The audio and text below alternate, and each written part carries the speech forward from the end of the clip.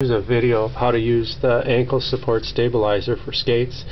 If you have inline skates or roller skates and they don't have ankle uh, uh, buckles already on them, you can buy this uh, unit here. It comes with two adjustable straps here so you can lengthen the strap.